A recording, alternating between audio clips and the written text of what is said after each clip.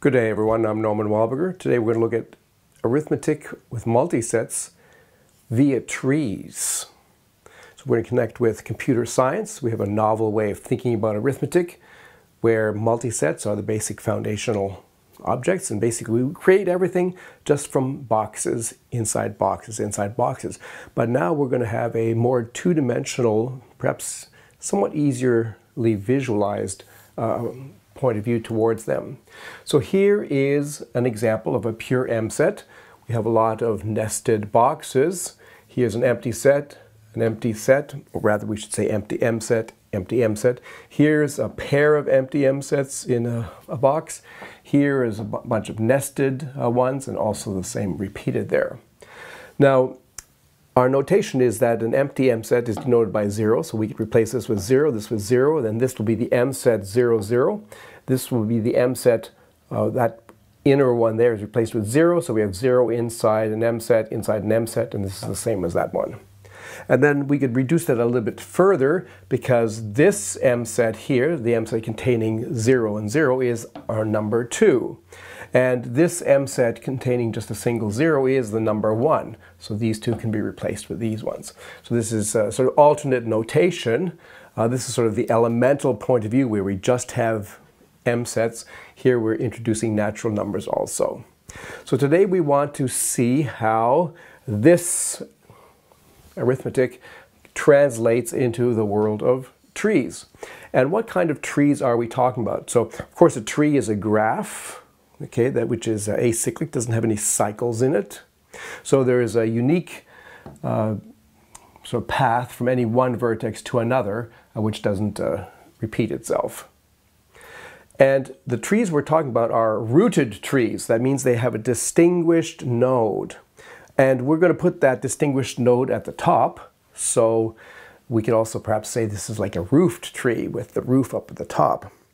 Now, importantly, this is a little bit different from the roofed trees that appeared in my series on solving polynomial equations. If you've watched that, we solved polynomial equations by introducing uh, a broad extension of the Catalan story, and trees played an important role. But those were planar trees. Okay, so these are non-planar trees, by which we mean that the actual uh, order on the page that we put these sort of sub branches is unimportant. So let's have a look at, at this one here, okay? It can be represented with this tree here. So this top node represents the outside brackets. And then inside that there are these uh, sort of subdivisions. There's an M set, another M set, another M set, another one, another one. So there's these five sort of interior M sets. There are corresponding to these nodes here, which is one level down. So the, the lines here just represent inclusions of M sets in M sets. Now these ones here are empty, so we're going to denote them with just a node which is empty. And this one here is represented here. It has two empty ones inside it. This one here has another one inside it, which then contains an empty set, and this one is similar. So this representation is not unique because we can interchange the orders of things. So this is an alternate representation where we've taken these sort of two um, branches, if you like, um, and brought them on the other side and brought these to the other side. Okay, so these are equal.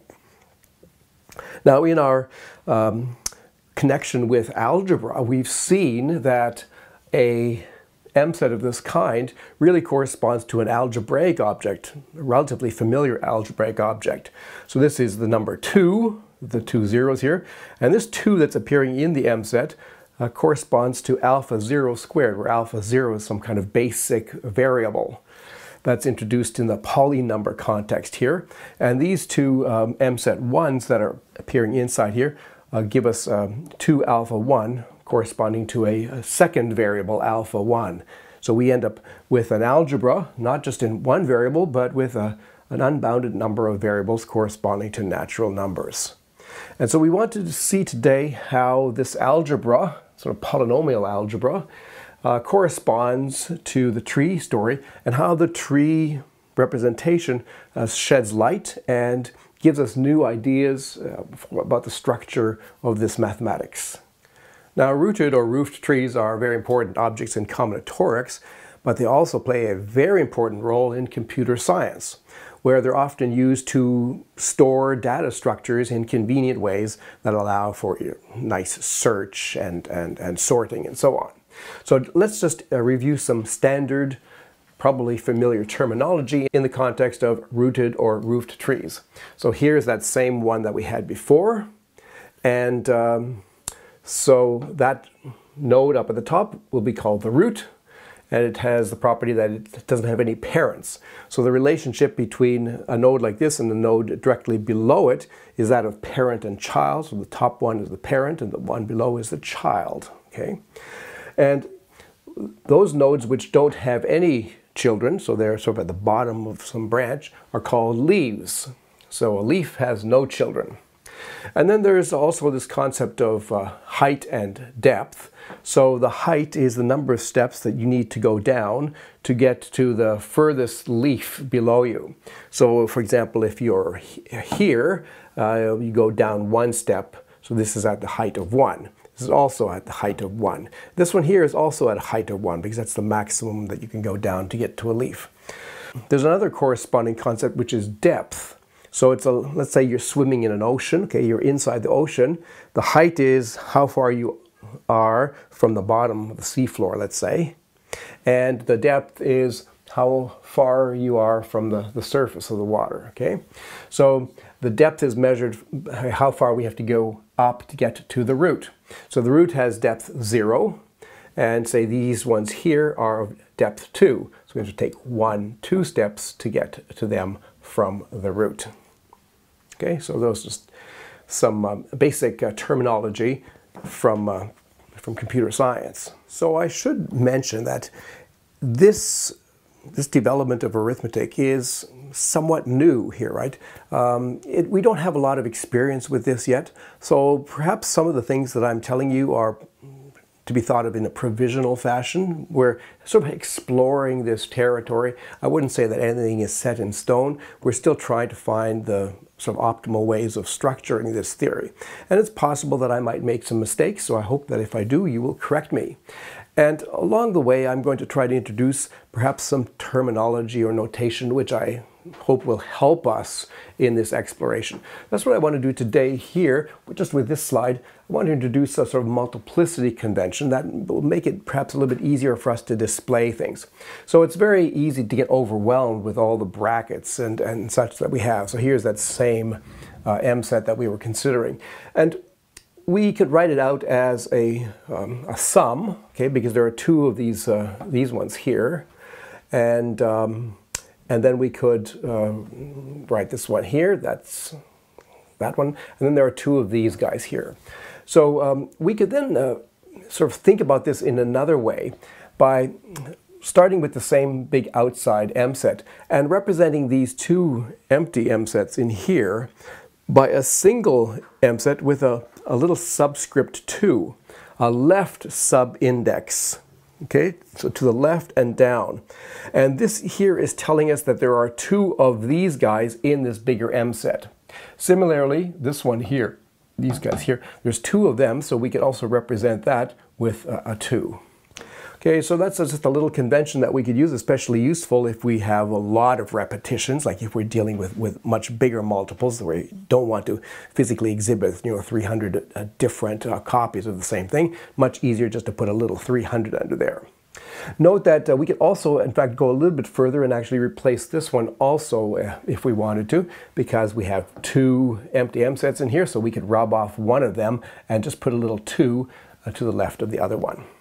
So this corresponds in the tree world also to a corresponding convention. So here is our original A.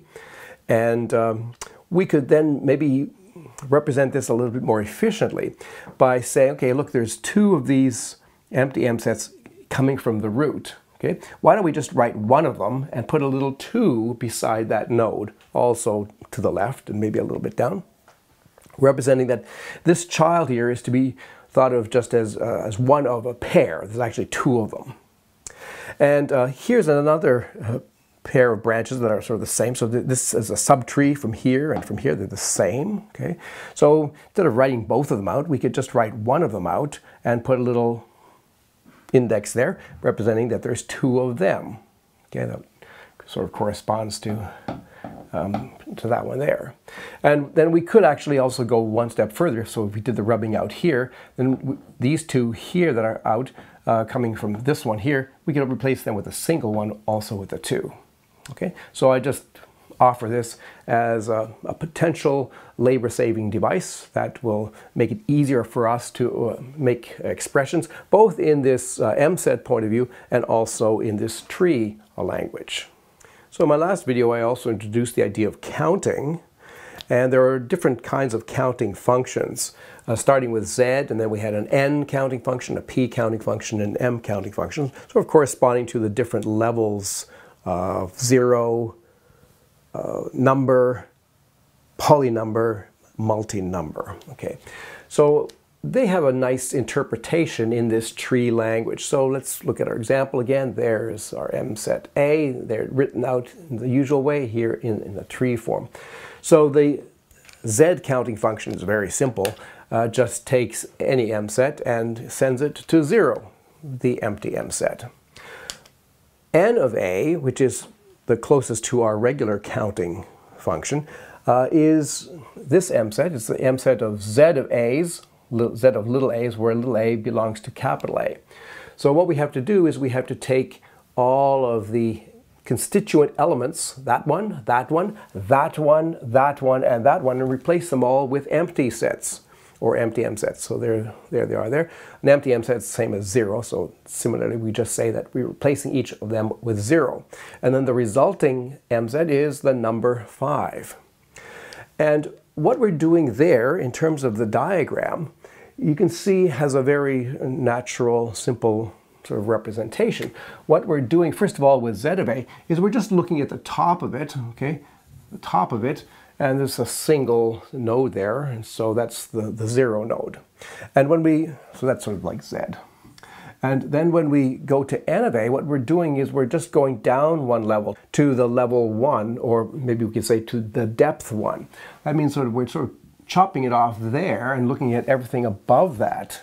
Okay, so if we just chop the whole thing there, then we get a much simpler M set, which just has five uh, leaves coming out of the, the root, and uh, that's then the number five. So that corresponds to the counting function n.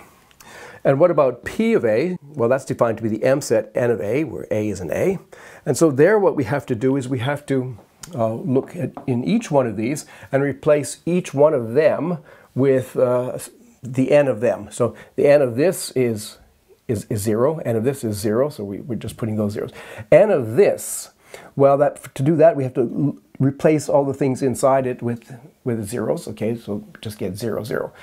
But this one here, uh, we have to replace this the thing that's inside here with a zero. So instead of having a uh, three nested brackets, we end up only with two nested brackets. So this one and this one end up simplifying to m set 0 and m set 0. And what that amounts to is truncating the story at that level. So we're going down to depth 2, but no further. Okay, so that's that's our p counting function. So the p counting function looks at everything above that. Says p of the m set is just what you get when you truncate right there. The thing above it is p of a. So that's a very attractive way of counting, and of course it's obvious how to extend that to further depths or further levels. In this case, m of a, well, that's the m set of p of a's, a and a. That turns out to be all of a in this case, and that sort of corresponds to chopping off at that level there. So that's the m. And since this thing here is uh, uh, a multi number, okay, because it's, um, it's an m set of poly numbers, so uh, the m counting function actually just outputs uh, the the M set itself. So the general rule here that we're seeing is that in this world at the level of trees, sort of geometrically, these various counting functions just correspond to truncations. And that makes arguments uh, about the sort of functorial properties that counting functions have with respect to the operations a lot easier to, to sort of see because we just have to ask, well, what happens if, you know, if we look at uh, addition or multiplication, so you know, up to a certain level, okay? So that's a, a nice aspect of the two-dimensional visual uh, approach that we get with the tree point of view. I want to introduce another idea which I think is useful here. The idea of you know, taking a box and which might have stuff inside it and sort of closing the lid so that you can no longer look inside and see what it has in it. Maybe you can shake it, you know, but no, you, we're just sort of thinking about a box which may have stuff inside it, but that content is maybe not visible to us. So I want to talk about the idea of closed boxes or correspondingly closed nodes in the, in the tree uh, version.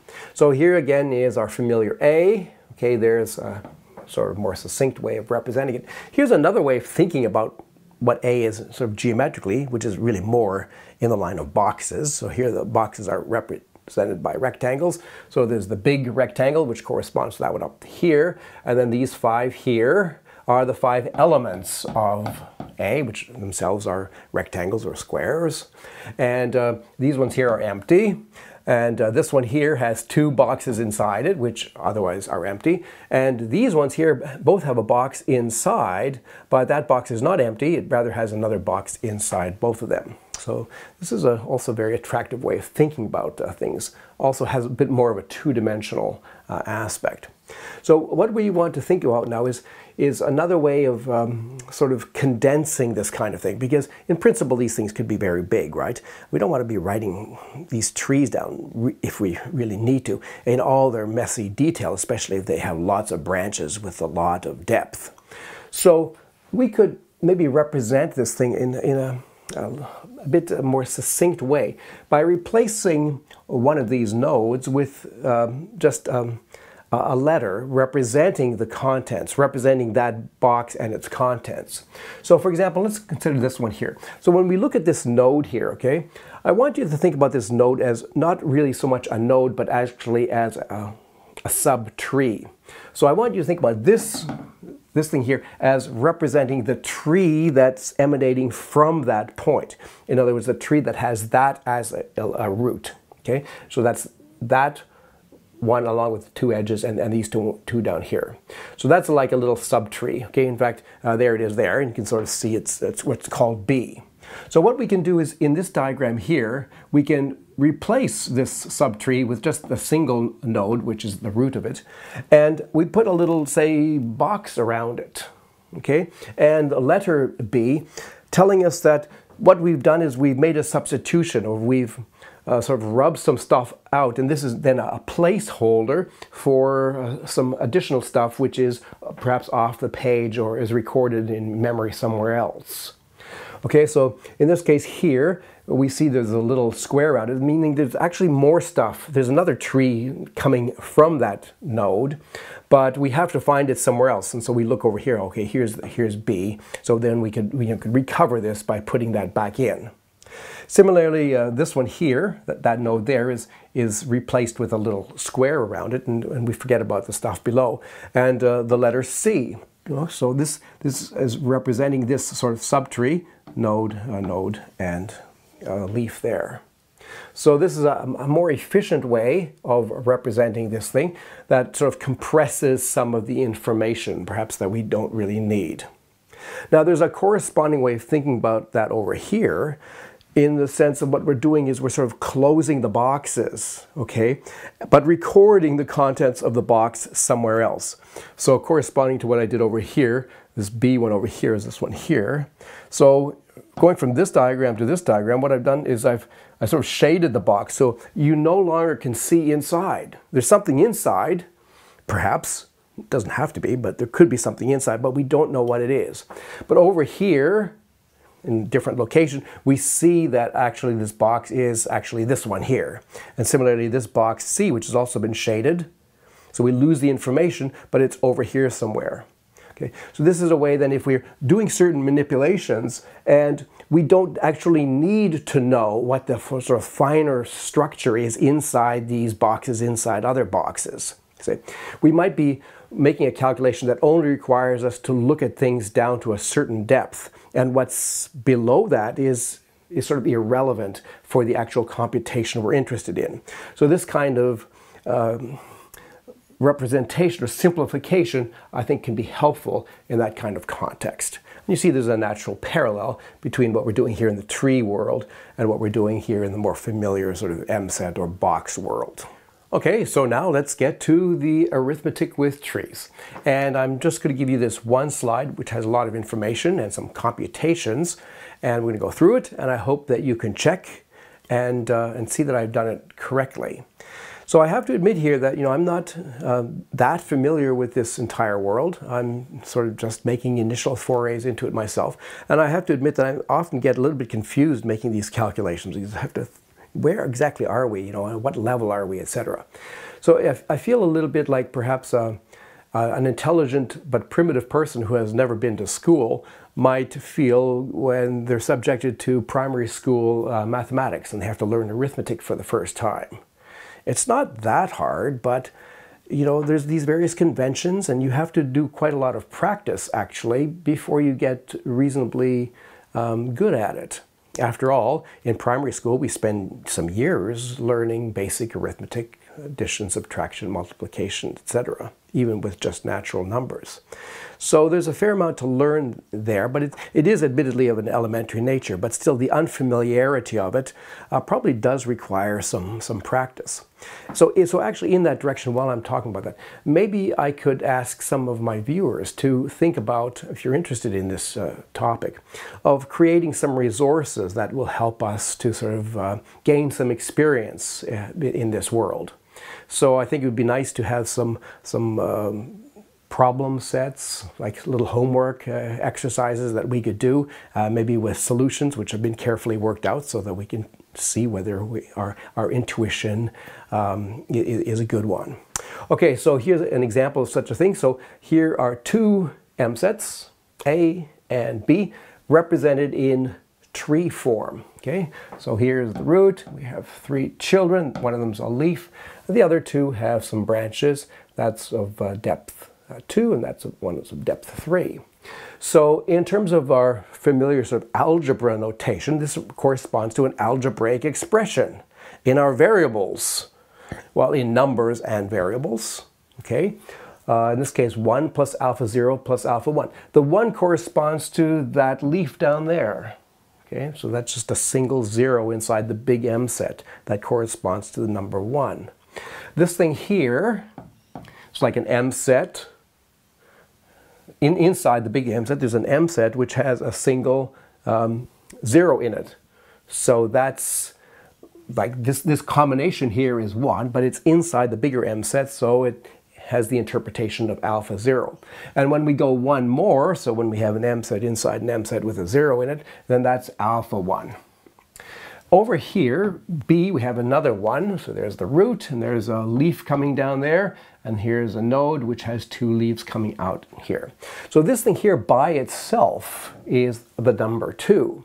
But when the number 2 is appearing as you know down from the root, it has to be interpreted in a different way. Okay, That's like the number 2 in, in an M set. That's different from the number 2.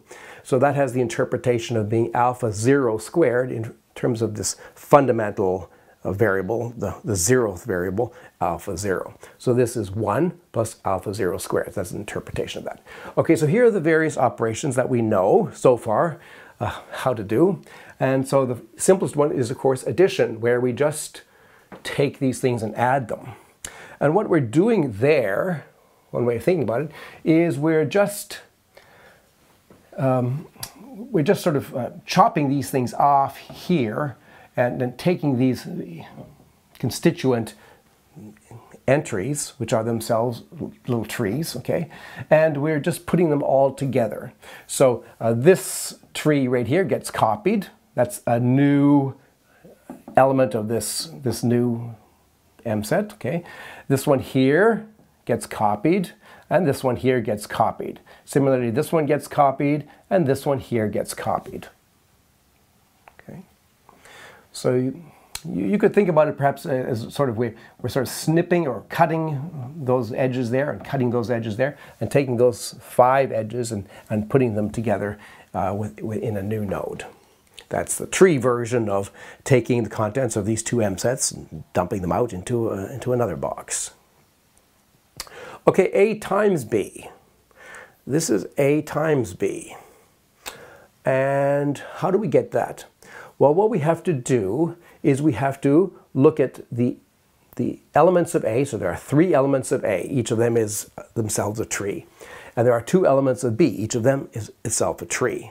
And we have to take all possible combinations of elements of A and elements of B, like pairs, maybe that tree and, and that tree, and we have to add them.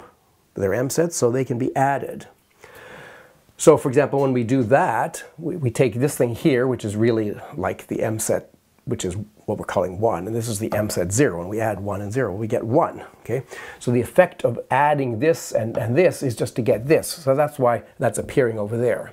And similarly, this plus this tree is it's this one here, and this one plus this is also this one here.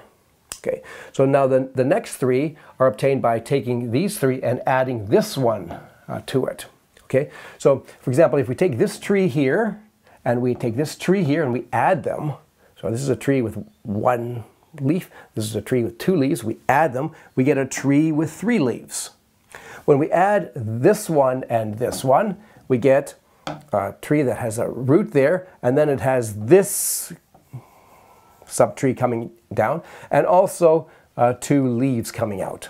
And finally, when, when we add this to this, well, this is zero again, so we're just getting our, our thing that we started with there. So this is A times B. And what is it algebraically? Well, sort of read through things. Um, uh, this one here is, uh, is, is 1, okay? And uh, this one here is a 1, but it's contained in a big bracket, so that's alpha 0. This is alpha 1. This one here is, um, okay, this one here is maybe the next simplest one. This one here is alpha 0 squared. Okay, this one here is alpha 0 cubed. And this one here is a combination of alpha zeros. There's two, sort of two of them, so alpha 0 squared there, but there's also an alpha 1. So it corresponds to this this polynomial in alpha 0 and alpha 1. And what about a caret b? Okay, so we're going to change our notation just a little bit. Uh, I was talking about exponentiation. Maybe that's not really such a great uh, terminology. A number of viewers have suggested that I step back away from that, and I think that's reasonable. But um, I sort of like this symbol, so I'm going to uh, stick with a suggestion that a viewer made that we stick with this thing here and, and call it the caret, C-A-R-E-T, okay? So A caret B, what is that? So by definition, what we have to do is we have to take these things here and take the various subtrees, the elements of this one, the elements of this one, and we have to pairwise multiply them. Multiply them, not add. Over here we were adding them. Here we have to multiply them.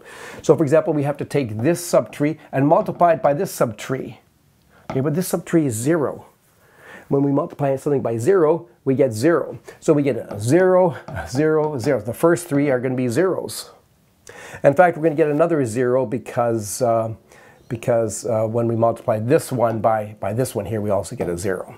So the, the two that are non-trivial are the product of this and this, which is this, and this and this. So let's just check that. So the product of this tree and this tree. How do you take the product? Well, you have to look at um, all possible pairs of, of, of sub or elements. This one has one element, this one has two elements. So we have to take a pair like this and we have to add them. All right, so 0 plus 0 is 0. 0 plus 0 is 0. So we're getting two possible zeros. And when we do the same thing over here, we have to take this tree, okay, starting from there, and this tree, and we have to um, multiply them. So how do we do that? Well, we have to take the elements of this one, there's only one element, namely the tree starting there, and there's two elements of this one, and we have to add those, okay? So when we add um, this one uh, with, with this one, well, we just get this thing. And when we add it with this one, we get this thing. Because 0 plus anything is the anything. All right, so that's what we end up getting by taking this combination, with this combination and multiplying. Multiplying tr this tree with this tree. And what does this look like algebraically? Well, this is a 4. This is alpha 0 squared. Same thing like that. And this thing here is, well, uh, this was like an alpha, alpha 1. And we have two of them coming out here. So that's like alpha 1 squared. So that's the way the caret operation works on, on these things, which is, you know, a little bit strange to us. Admittedly, this is a kind of a strange new arithmetic. We're in a kind of unusual world here. So the natural question though is, is this a consistent world and is it, is it an interesting world?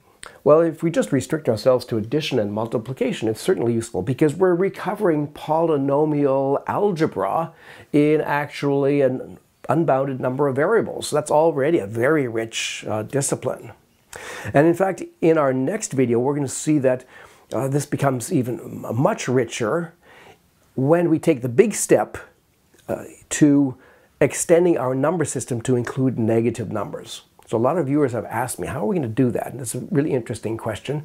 And I'm going to show you next time. And we're going to see that that really, again, expands our vision in a quite a fascinating way. Hope you'll join me for that. I'm Norman Wildberger. Thanks for listening.